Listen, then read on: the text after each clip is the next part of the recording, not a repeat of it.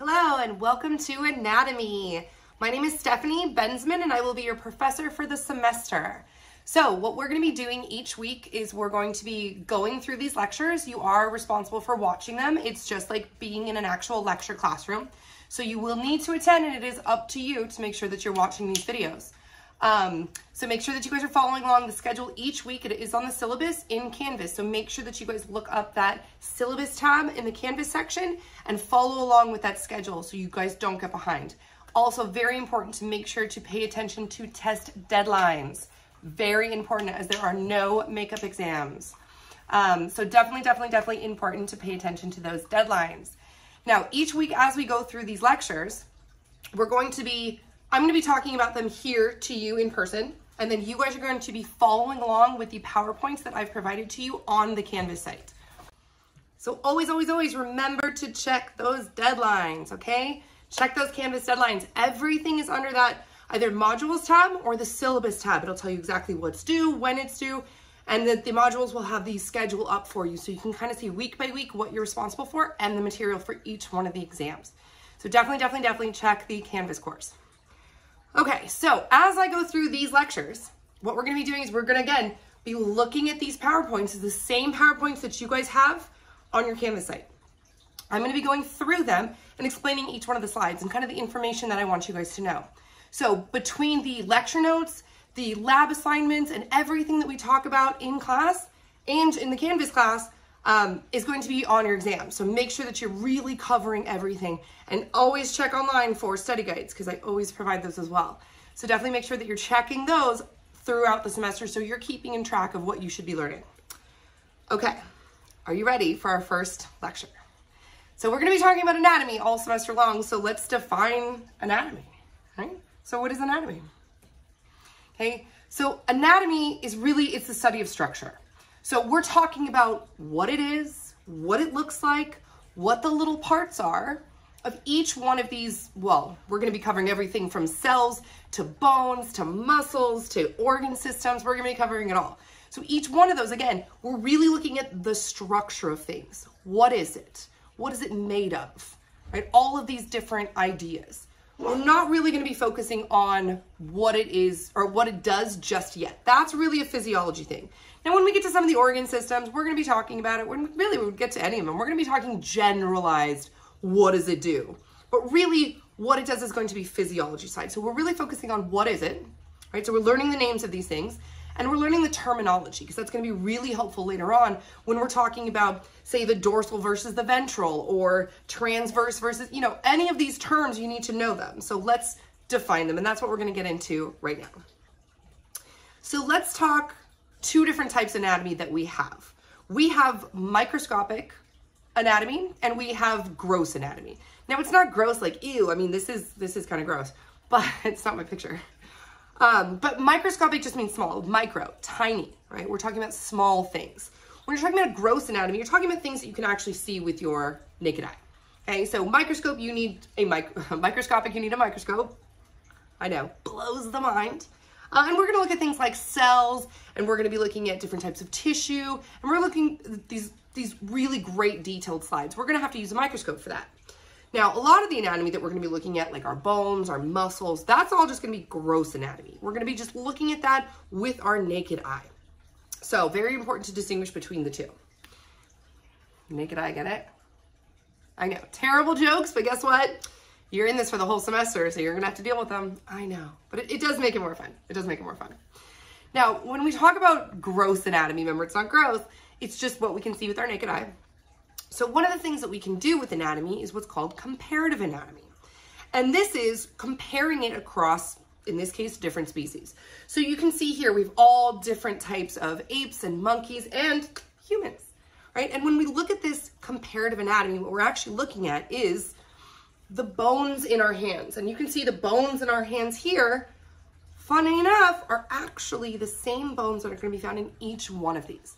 Now, obviously, they are all different species, but because we came from the same common ancestor, we all have relatedness. So the closer we are in our structures, the more related that we are. And then you can see we actually get to some of these uh, older world monkeys right here with a little bit different anatomy. But again, all the bones are still the same. So this is a really great way of looking at how related we are across different species. This is evolution, right? We're looking at the change over time. So we can see, yes, we did all come from same, same common ancestors, so we all have the same bones, but they are slightly modified depending on the species that we are. Uh, whales, same thing, whales are mammals. We have the same bones that whales do in their flippers, but because of their lifestyle and where they live, obviously they're modified into those flippers instead of the fingers. Um, but again, we can look at these similarities or the differences. We can look at, say, a bat wing and say, hey, well, we have, that's a bad example. I'd say bird wing and a bat wing, right? So you look at them and you're like, well, they're both wings, so they must be pretty similar, right? They both fly, they both live in the air, right? But they're actually not. So when we do comparative anatomy, we can look at it and say, oh, actually these are very different because we can look at the bone structures and see how different they are. So one of the great things about anatomy. Okay, so next up we're looking at developmental anatomy. Okay, so we have comparative anatomy, we're comparing similarities and differences between two different species, right? When we look at developmental anatomy, we're looking at the development basically from conception through maturity. What happens at each stage of development, right? Because we're not born like this. We had to develop, we had to grow and develop over time. And so looking at every single one of these stages from day one all the way through, way through birth, actually through death, right? The entire maturity, right? Well, not through death, really, because you're not maturing at that point. When you stop maturing is when this stops. But you're looking at the development, like, well, how are you developing over time? I can tell you, similar species are going to develop. Basically, the early stages are going to be similar until a certain point when they're going to diverge and become those two different species. But the longer you have that developmental, that, that early stage of development the same, the more closely related you are. So we can actually observe this in embryology, and embryology is specifically looking at everything before birth. So this embryology is great because we can look at, say, we can look at human growing in our little, from our little eggs, right, developing. You can look at a chicken. You look at them and say, hey, maybe in the beginning you have the same kind of splits and stuff, but very quickly they become very two different embryological developmental stages, right? So as the embryo develops, if they're very different early on, the species must be different as well. And this is a lot of evolution, so we're not going to really focus too much on it, but we're highlighting some of the benefits of, of uh, anatomy. Okay, now there is also regional anatomy. Regional anatomy you can think of is very particular, right? Just one region. What are we talking about? Say the skin, the bones, the muscles. And we, that's basically how we're gonna set up the semesters. We're gonna go through regional anatomy. We're gonna start with the cells and then we're gonna move on to, I believe move on to the bones and then the muscles and the organ system. So we're gonna be looking at each one of these re regions individually. Um, including surface anatomy, which you can only imagine is, right, the surface. Everything that is exposed to the outside environment would be considered surface anatomy. So we're gonna start with that. Um, Going on to systematic anatomy, systems, right? Systematic systems. So we're looking at organ systems here, right? Your digestive system, your urinary system, your reproductive system. So then we're going to focus on each of the individual systems that make up us. Now, starting from the very smallest to the very largest, we have atoms, right? The chemical level. What are we actually built of? Well, we're all built from elements, right? Elements combine together make certain chemicals, right? Don't be afraid of the word chemicals, guys. Air is a chemical. Water is a chemical. I know, we're just walking chemicals. Don't be afraid of the word chemical. Now, the chemical level is not technically considered alive, and we're going to get there in just a second. But we do have atoms, right? Single atoms, single elements, oxygen, carbon, nitrogen, right? You put a few of those together, say like two hydrogens and an oxygen, and you get a molecule, in this case, water right? So we're now building from the smallest, smallest unit, atoms, we're building and building and building and getting larger and more complex. And that's what we're doing here. So when you take a bunch of those molecules and you stick them together, you can actually build a whole cell. Now this is your smallest unit of life because an atom and a molecule, they're not alive, right? Oxygen's not alive, but your cells are. And so are single-celled organisms. So the smallest unit of life is the cell. So we have a bunch of molecules, we put them together we make a cell right? Those cells function. If we were to take a bunch of similar cells and stick them together, now we have tissue, right? Say I put all of my muscle tissues together or all of my muscle cells together. Now I have muscle, right? I actually have the, the tissue that is muscle. Um, and that, that's the tissue level that you can see right here. So again, we're getting larger and more complex. Say we were to take um, every muscle that we have or every organ that we have that works together, we would then, so sorry, I can't say that, I'm skipping one. Every cell that we have works together to form an organ, right? All of our muscle cells together form our muscles, right? All of these tissues in here that form, say, your organ, you say your stomach, right? That tissue layer in its entirety, not just part of it, but its entirety would be the organ level. Okay? After the organ level, say you put all of your organs that work together together. Okay, so say you're talking about, in this case, your digestive system. So your stomach, your gallbladder, your intestines, both your small and your large, you put all of those different organs together. Now they form an organ system. In this case, your digestive system. Okay, so that's at systematic level, that's system okay? And if you were to take every single organ system in our body, our, our reproductive system, our digestive system, our respiratory system, our everything system, and then you would get our organism. In this case, humans, okay? That would be the final level, the largest level. So again, we have atoms. Atoms stick together to make up a bunch of molecules. Molecules can create cells. Once you have a full cell, you put a bunch of similar cells together, you get a tissue. You take that entire tissue level together as a functioning unit, you get your organ.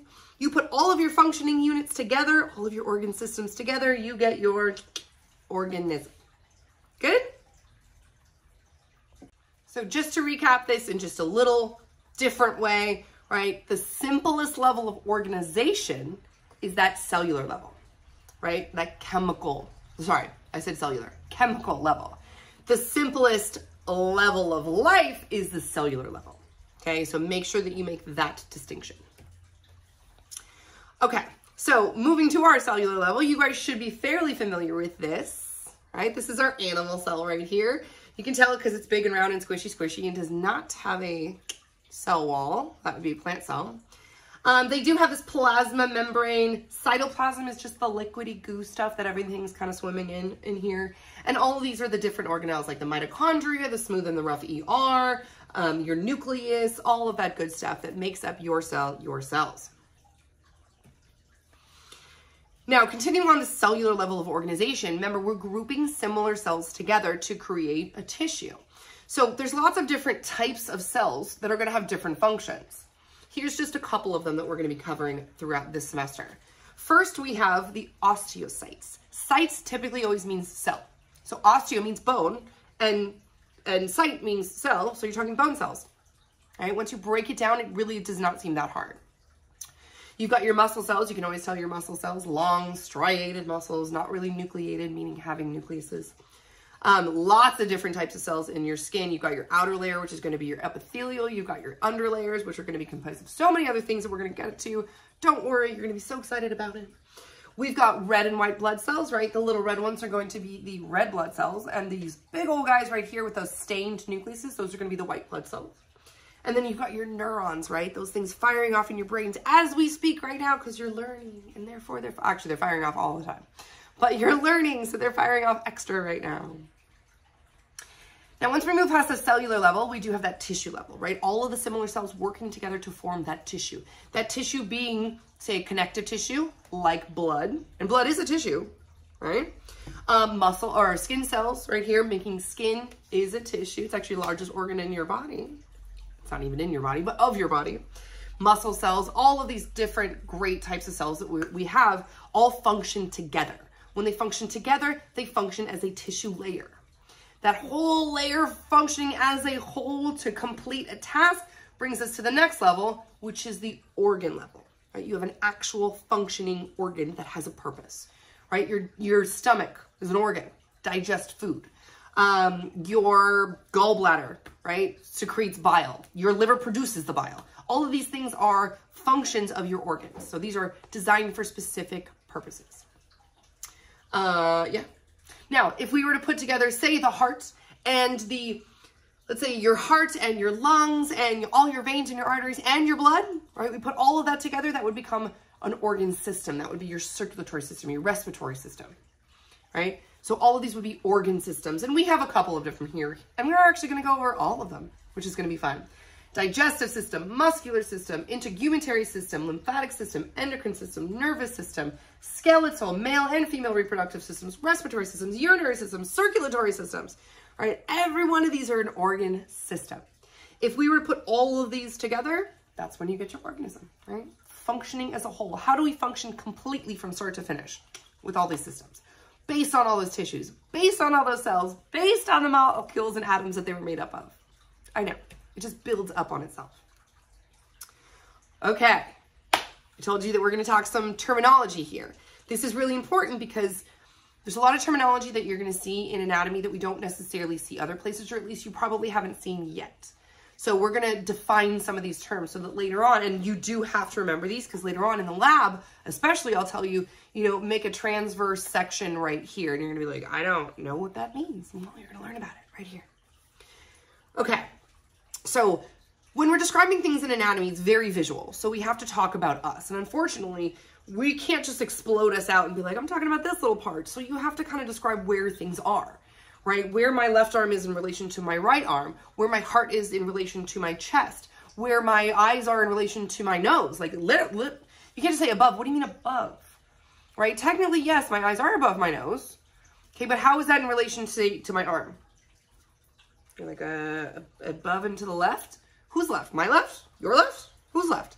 Right? So we have to standardize these things. So when we start to talk about them, you guys will know, oh, okay, so it's this side and it means on this other side of the right section. Perfect. Got it. So we do need what's called as a standard universal position. And that's so we know everybody starts out in that position so it's easier to describe. Because again, my left, your left, which we don't know. So this is what's known as the anatomical position. Essentially, you're facing forward, you have both of your hands down by your side and palms facing out. This is like the standard position. Now, some of you are probably already looking at this picture and be like, oh, boobies. I know she's naked. It's anatomy, guys. We're going to be saying things like breast, testicles, ovaries, vagina. I know, and you guys can giggle all you want at home. Because the best part about these lectures, you can pause me. You want to pause and giggle all you want? Great, do it. I encourage it. But we are going to be talking about these things, and so I'm just going to breeze through them. So if I don't giggle, it's because, you know, I'm trying to teach you guys. Now, anatomical position again, standing up, feet parallel on the floor, meaning facing forward. Head eye level moving forward, not tilted up, not down, not left, not right. Straight, standard. Again, hands down by the side, palms facing outwards. Um, and that's pretty much it. So anytime we're typically talking about anatomy, we're talking always in the standard anatomical position. Now, there are other positions that we're going to talk about, but we're going to get there. Now, we do typically divide these, let's just say we divide our bodies into two main sections, two main sections. There's a lot of little sections that we're going to get into, but two main sections. One, we have the axial skeletal system or the axial system, and that includes the head, the trunk, the, the head, the neck, and the trunk, which is basically your spinal cord. So imagine everything that you absolutely need to survive. Your brain, right? Your spinal cord. Well, actually, it doesn't even count because you do need all of your organs to survive. So uh, just think axial, think like the axis, right? The center, your head and your spine. And we're going to see a picture of this in just a second. Now, the appendicular is appendages, right? That's everything else, everything coming off of your body. That's going to be the appendicular, right? Appendages. Uh, now, we do have some very specific uh, regions to talk about, things like carpals, right? Carpals, wrists, uh, the oral or the mouth, and femoral or thigh, and that's because that's where your femoral vein is, or femoral. Femoral, femoral, I've heard, I've heard them both ways. You can kind of call them whatever you want, as long as you can spell it right. All right, so let's look at this. So we've got, again, this is going to be well, we're now going into other sections. There's so many sections, guys. There's so many things you need to learn. We're going to see the, um, the axial and appendicular um, skeletal systems. We divide all that when we get to bones and stuff. We also need to divide the sections of the body into the thorax, the abdomen, and the back or the dorsum. I know, guys, stick with me here. It's a lot to know. Do you absolutely have to know every single thing on here? Not today, you don't. We are going to cover it later on in the semester, but today, again, we're just learning these terms. We're learning about certain concepts, and then we're really going to dive into them later on in the semester. So remember, guys, this is still just day one. Don't freak out yet. All right. So we have things like the cephalic region right here, which is basically the face. We've got the cervical right here. You've got the thoracic, the abdomen, um, your pubic area right here. This is going to be your, you know, lower limbs, your pedals, which are your feet. All these regions we're going to define in good time. So guys, don't stress on this yet. These are just different regions of the body so that we can, when we're talking about it, we can go straight to, oh, the lumbar region. Oh, I know what the lumbar region is. It's this lower back area right here. Right? That's why you guys get lumbar support, lower back. Now, before we go into actually naming any of these, let's talk about let's talk about how to describe them. Okay, so there's a couple different ways that we can do this to think about this in a 3D way.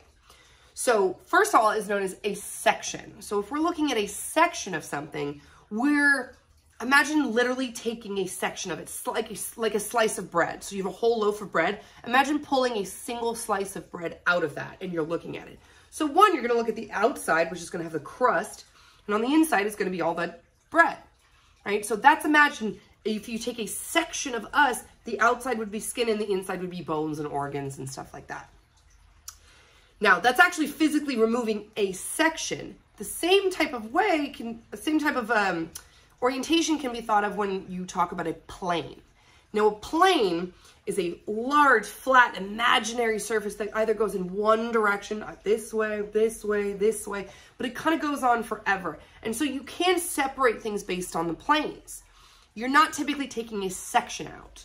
So it would be more of you have that loaf of bread and you cut it down the center with like a huge wall.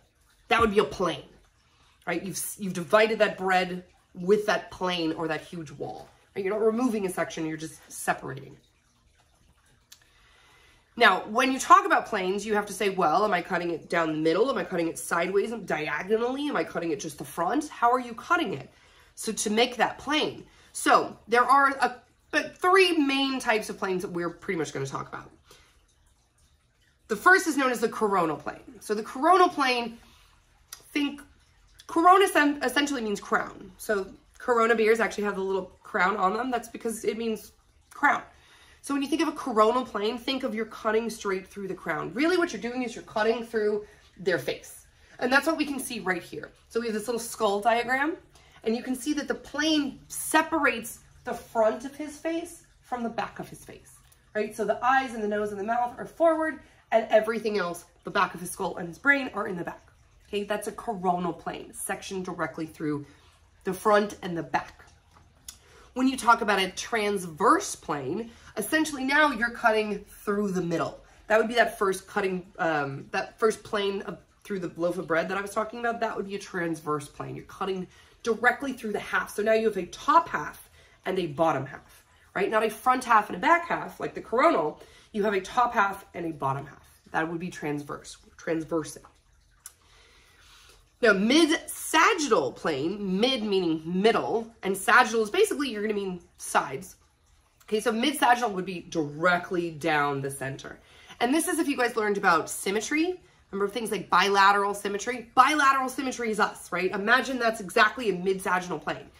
You can divide us straight down the middle this way, and I get a right side and a left side, and they mirror images of each other. That would be a mid-sagittal plane. Um, sagittal plane would just be one of those planes slightly to the right or slightly to the left of that mid-sagittal. Mid-sagittal meaning middle. Sagittal would just be like this way or this way, right? You still have halves, but they're not cut in evenly in the middle. Hopefully that makes sense to you guys. And if not, remember any questions you guys have, you can shoot me emails. You can come visit me in my office hours, either in person or on Zoom. And uh, you can also see me in class if we have labs in class. Again, just depends on the semester. But always email me if you guys have uh, questions. Okay. Now, planes aren't necessarily going directly through something like us that has, you know, two sides. I have a left side and I have a right side and you can cut me right down the middle. But that's not always how that works because some of our organs are kind of funky shaped, like our intestines. They go for, you know, 18 feet in our body or however long it is, which we're going to learn about yet. Um, so when you're talking about these planes, we can actually cut a plane here or here or here and then here and then here. And if you look at all of the way that these guys have been planed, they're all different. Everyone is shaped different. So it's really important to pay attention when you're looking at these planes because there's going to be like a 2D 2D image of basically what's going on 3D wise. So you kind of have to figure out where are you? Were you up here? And then you're looking at the outside and the big open inside. Because what's this guy? How would you know that that's the loop around? If you looked at it like this, it might look like two separate organs or two separate systems going in two separate directions. So it's always very important to pay attention to your, basically to your position. Where are you? Spatial awareness. All right. So now say you want to describe something to me. You're like, I saw this and I don't know what it is and I'm going to tell me all about it, right? You need to tell me where it is located, right? Before we even start talking about what it is, where is it located? Where in the body did you find it? And of course, it's not exactly how we're going to spend the semester, but you can imagine. So if we're talking about anterior, anterior means for, forward or front. Which way are they going, right? So imagine that you have this wily coyote right here and he's standing right now, but imagine he's walking on all fours. As he's walking forward towards his head direction, right, that would be the anterior. So his head would be anterior to the rest of his body, forward, front, right? We're gonna get to posterior in just a second, but you can imagine what that is. That's the back. Anterior, posterior, front and back. Now we also have things like the belly side. So imagine he's walking along and he's walking forward and we know he's that's his anterior. Well, his belly underneath his legs as he walked would be his ventral side, right? Belly side, ventral side. Different from your back, which would be your dorsal side. So we have anterior front, we have ventral belly, we have posterior back. Also back or end. I always like to think of it as end because back can also be dorsal. So back, but posterior kind of means backwards or the end of something or, right? Whereas dorsal, you can think of like a dorsal fin on like a shark or a dolphin, right? That kind of means back to me. So even though it does, technically the definition is booty side, right? Back side back here. So his tail would be on his dorsal side, but it's also kind of posterior, right? It's not near his anterior end, it's near his posterior end. So unfortunately, guys, and there's nothing I can do about this, a lot of this terminology kind of sort of overlaps, especially when you're talking about animals. A little bit easier for us because we walk just upright. And so there's anterior head, posterior, back, dorsal, backside. Um, but it's a little bit different in animals. So you might hear me kind of use them interchangeably, but we're focusing on humans again. I'm mostly marine biology, but I also can teach you guys anatomy. So if I slip into saying more dorsal instead of posterior, that's only because I'm used to working with animals instead of people like this guy. Little great white shark right here, which you can see his backside, and this is also his dorsal. So even though it's on his back, they consider more towards the booty. I know. Don't worry, guys. It's really not going to be that complicated because I'm going to help you guys define these things as we go. So I'm going to make it very clear what they are. All right. Superior. Superior means above. So remember how I was talking about how my eyes are above my nose? Above how, though? Internally above because isn't technically the my eyes superior in front of my brain, which is on the inside. So we do have to define what are you talking about exactly where. So superior typically means above or really closer to the head.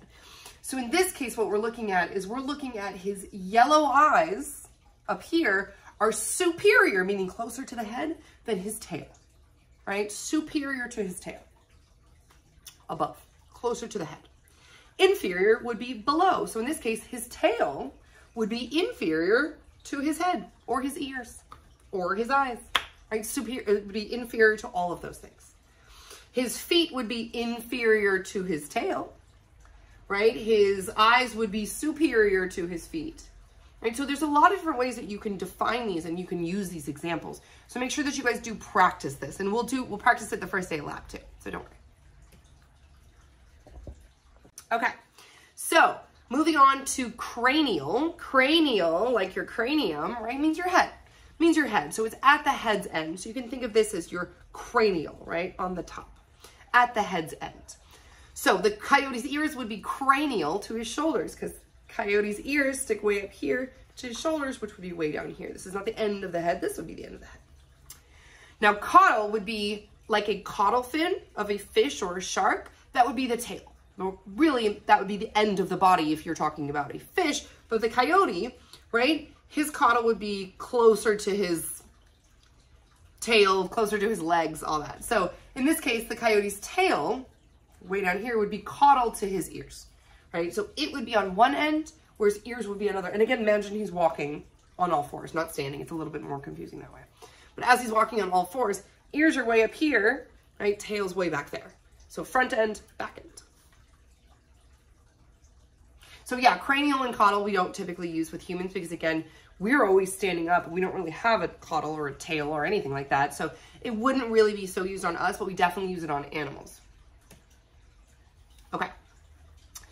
If we're talking about medial, medial means middle. So anything medial means in the middle.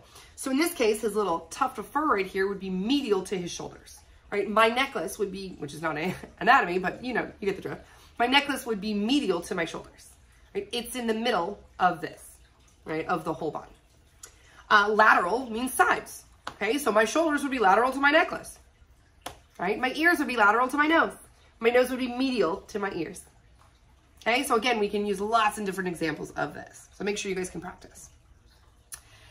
Now here's one, some that you probably haven't heard before. Ipsilateral means lateral, meaning, okay, on the sides, but ipsilateral means same side, okay? So my right ear and my right hand are ipsilateral to each other, same side of the body. My right ear and my left arm would be contralateral or different sides, contra, like contradicting, different, right? Contralateral, lateral meaning sides, contra meaning different, different sides. So my right ear and my left arm would be contralateral to each other, but my left ear and my left arm would be ipsilateral to each other because it's the same side. Okay. Proximal, you can think of like proximity, like a close proximity, means how close you are, right? You're closer to the point of attachment. You're pretty there. You're you're in the proximity is what they say. Like you're so close. Whereas like distal kind of sounds like distance. We're much farther away. So in this case, the coyote's knee would be proximal to his foot, right? Knee's right here, foot's right here. Look how close that is. But the coyote's fist would be distal to the elbow. And remember, you have to think about this as distance from the connection point. When we're talking about the connection point, we're talking about your center. Okay, so my wrist way out here right, is farther from the connection point than my elbow. Okay, so we'd have to go wrist, elbow, shoulder. But because the wrist is so much farther away, that would be considered distal. The elbow would be considered proximal because it's much closer. So the elbow would be proximal to the shoulder compared to the wrist. The wrist would be distal, farther away from the connection point. The connection point would be the center connection point, not to each other. Because that's how you can think of the knee to the hip versus the foot to the hip. Okay, so the knee is proximal, closer to the hip than the foot. The foot would be farther away. I know, and you kind of have to think of compared to the foot. Because you think, well, they're both kind of the same. They're like one joint away, but really it's it's compared to. Okay. Now, like I said, when we're talking about above, my eyes are technically, if I'm laying on my back, my eyes are above my head or my brain. But really what they are is they would be superficial to my brain because my eyes are on the outside, my brain's on the inside. So my eyes would be superficial to my brain, or realistically, you can think of something easier. My skin would be superficial to my skeleton, right? It's on the outside. It's on the outside, the most outer layer kind of thing.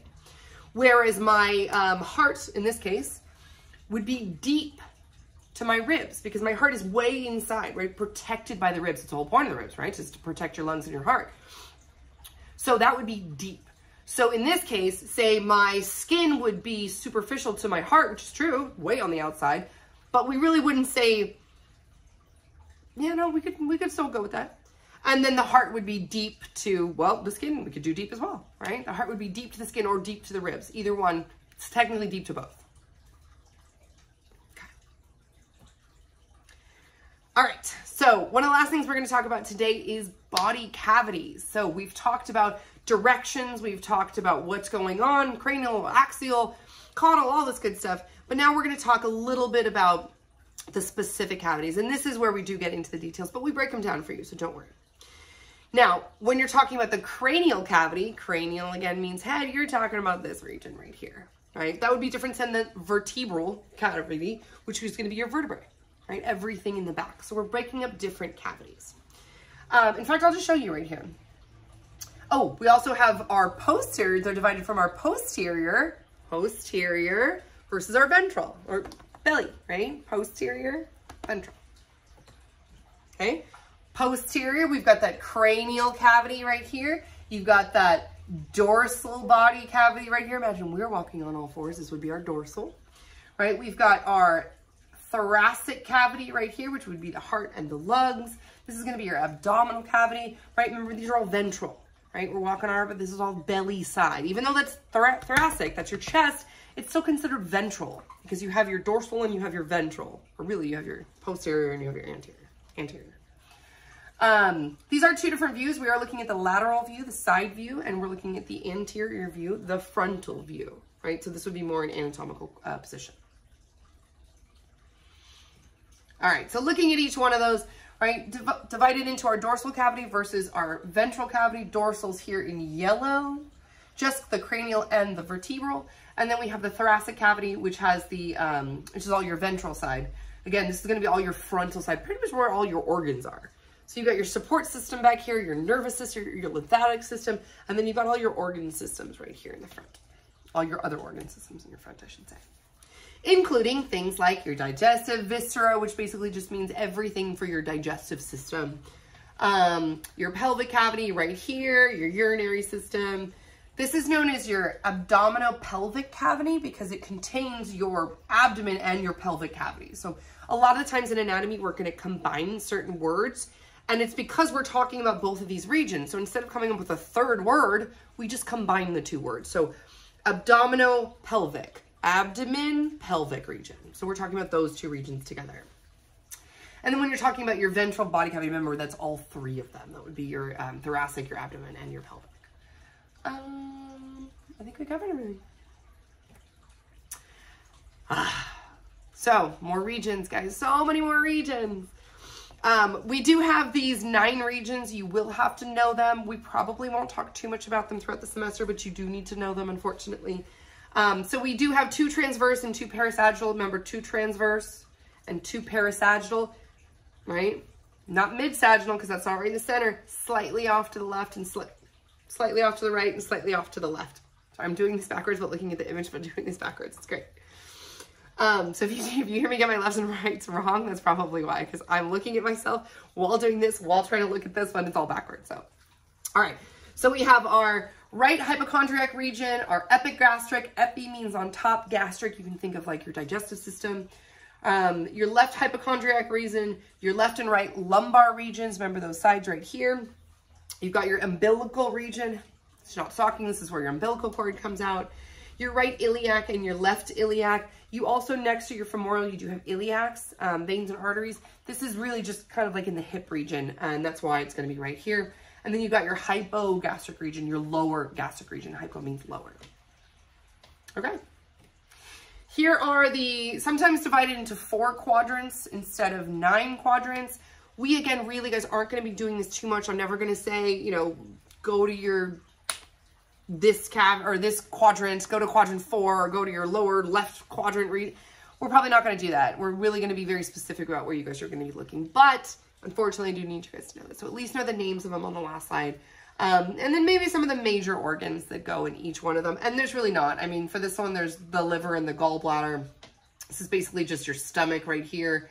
Um, that's, that's nothing else there. Um, and that's pretty much it. So we're going to learn about all these organs. So I probably wouldn't honestly don't even worry about it. If you guys want to get ahead, absolutely start learning each of these quadrants because then later on it's going to be so easier as we go through because you're going to be like, oh, right, that's the lower lumbar region or the, um, which that's the left lumbar region, I should say. And that contains things like the uh, spleen, you know, your, uh, what, the appendix, all that good stuff. I can't even think of things right now um, but these are all going to be things that are going to come up later. So as long as you know where they are, you guys are going to be great.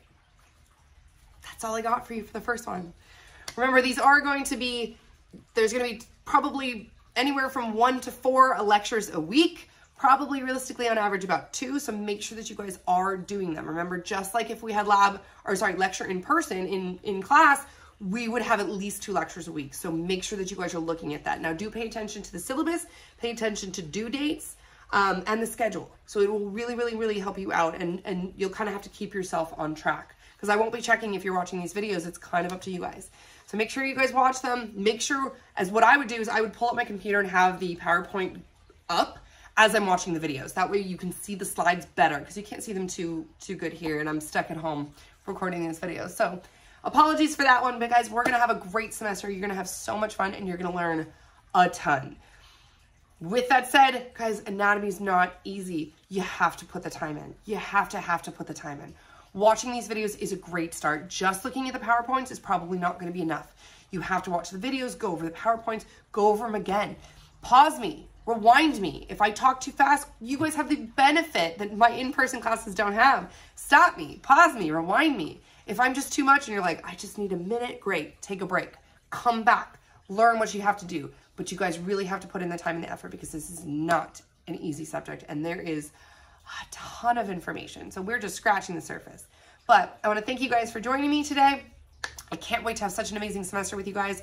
So just keep looking on Canvas um, and on the YouTube page for these videos. If you guys have any problems, go ahead and email me. Don't forget to email me. Check your syllabus for my email. Email me directly, not through Canvas. I'll always get it much faster if you guys email me directly. So check the syllabus for my email. And guys, I will see you for the next lecture. Thank you so much and have a wonderful rest of your day.